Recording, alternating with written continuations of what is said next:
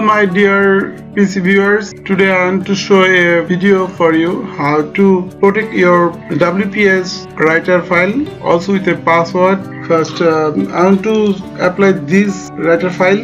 Just open your series. Just click here writer icon and click here. Click tools. Click tools. Now find option and click security. Give password and re-enter password and click OK and close and save it. Viewers now open this need password record. Give your password. It's open. If you want to change WPS writer password, just open. Give your password. Open and click here and click tools. Click options and click security viewers first time give this uh, file two word protection or two character password. Now want to change this password okay? Change. Now give three three word password or three character password.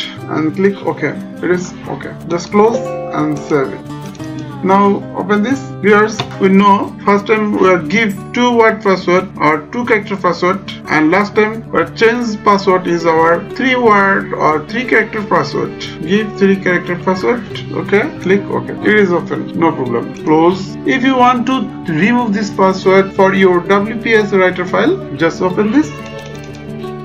Give your password then click ok it is open. If we want to remove this. If you want to remove this just click here and click tools and click option and click security. Just remove it. Just remove. Then click ok close, remove your password and click close. Just save.